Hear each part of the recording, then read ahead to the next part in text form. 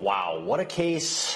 What a case. Let's break it down right now with trial attorney and judge. Judge Quinton Washington is joining us right now. Judge, great to have you here on Law and Crime. I got to ask you first off, have you ever seen a case quite like this one before? Not that's beyond anything that came out of like Patty Hearst or any of the kidnappings that came out of California about 10 years ago. This is this is incredibly unique. This is incredibly unique. How is it possible that if this is all true, remember we're covering this trial, that he could have kept doing this on a continual basis? I mean, he had two bodies in his house, and then this third woman, if she didn't call 911, who knows what would have happened to her? How is it possible that he could have continued on this crime spree? Well, I mean, the difficulty is, is that what reason would police have to go in there? Because unless they're called, they don't know of anything, which is why once investigations start, that's when police find out things. But otherwise, they'd have no reason to know if he's coming in and going out and acting normal. Why would people ever call to come? Why would people ever be called to go in this house? Yeah, that's a good point. I mean, look, we, we have the insight because we get all the information as we're covering the trial. As you reviewed the case, what did you see as a pattern here? Because there was, seemed to be, you know, the victims were women. Um, they seemed to maybe be vulnerable. I'm curious from your perspective, what do you think he, again, this was allegedly, because we're, we haven't told what the verdict is yet, what do you think that he saw as these victims here? What do you, what do you think he was looking for?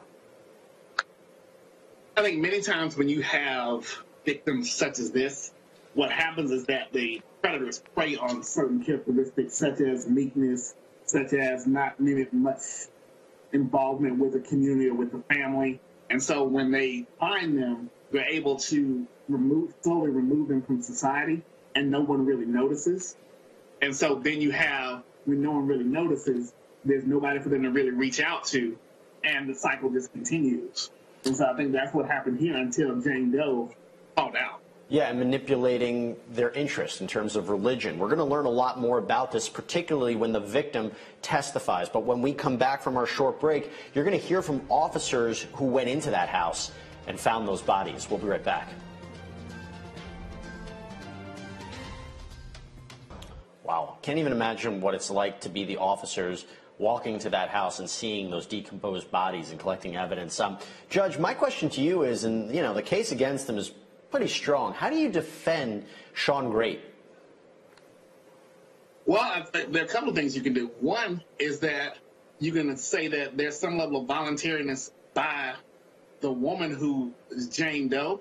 That doesn't take away from the two that were allegedly deceased because of his actions. The other thing you can do is you can hope to find somebody else to point the finger at and say, this is somebody that was, these are people who were in the house who were deceased who my client did not have anything to do with. Or you could say that there's some mental health issue there that means that he should not be held liable and criminal standard for what he's done. All right, let, let's break some of that down. So the idea that she was, you know, consented, it's going to be hard to convince a jury that a woman would consent to be in a house with decomposed bodies um, and she disappeared and no one knew what happened to her, right? That's a tough argument. Oh, incredibly so. Incredibly so. But the issue is, that, you know, the U.S. has very strong fundamental property rights. And so what goes on in people's houses and what goes on on people's property is something that they have a strong say so with. And so you never can tell what people may be into. It sounds like a stretch, but at the same time, you never can tell what people may be into. And the idea of insanity, did he not fully understand what he was doing? I mean, he seemed to have uh, a disarming quality to him. He see, as we talked about earlier, he knew what he was doing by manipulating these women or allegedly manipulating these women and getting them. Um, so it, how could it be argued that he may he may you want to plead the insanity defense? Oh, you'd have to have a, you'd have to have a third party come in and give a test on that. There, there'd have to be competency that would be a, that a third party you'd be able to hang your hat on that. And until they get that, then it's not possible. But I'm just in looking at different ways you could try to defend one of them could be an insanity plea. Yeah, it's tough. It's tough. We're not at the end of that, though. We still have to talk more about this case. Uh,